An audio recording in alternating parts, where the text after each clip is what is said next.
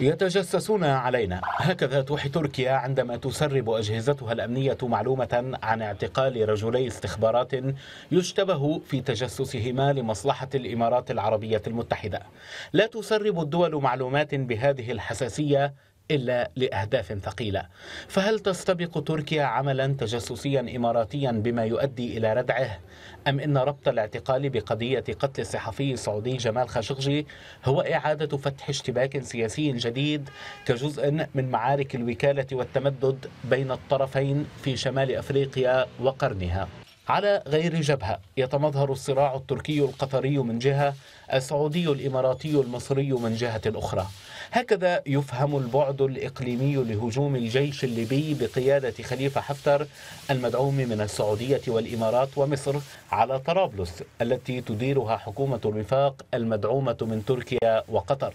وبالبعد نفسه يمكن تحليل أحد الأبعاد الإقليمية للأزمة السودانية. فليس سرا أن رئيس المجلس العسكري الانتقالي عبد الفتاح البرهان مقرب من الإمارات وليس سرا الصراع على جزيرة سواكن التي منحها الرئيس المخلوع عمر البشير لتركيا إضافة إلى التوقيع على بناء أكبر مطار في أفريقيا في السودان وإدارته تركيا لثلاثين سنة. في مختلف الأزمات تقف أنقرة وأبو ظبي على طرفي نقيض، لا يخفى الذعر السعودي الإماراتي من العلاقات التركية القطرية، ليس فقط بما توفره من غطاء إقليمي لتيار الإخوان المسلمين، بل لوجود قاعدة عسكرية تركية في الدوحة. كان لها دور في نقل الأزمة الخليجية إلى إطارها الإقليمي الأوسع بدلا من حصرها خليجيا بما يمكن السعودية وحلفائها من استفراد إمداد قطر عسكريا.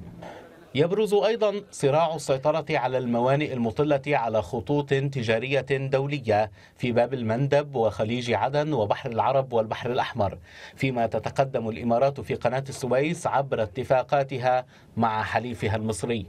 الحرب الإعلامية بين الطرفين تعكس جزءا من المشكلة لكنها في العمق تكسر كلا من رواية الإعلام السعودي والإعلام الإماراتي عن دور إيران وتدخلها كسبب لأزمات المنطقة إذ تبدو تركيا بلحاظ صراع المصالح أخطر على السعودية والإمارات من إيران ضمن صراع يبدو في عمقه منافسة على مكانة عالمية تتطور بين إسطنبول ودبي كمدن يدار منها قسم كبير من تجارة العالم.